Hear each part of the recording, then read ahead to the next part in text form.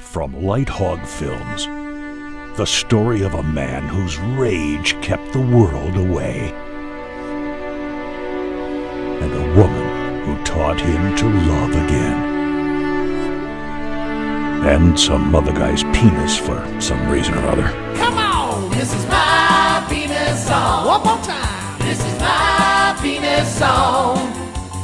This is the end Do we still do urine testing?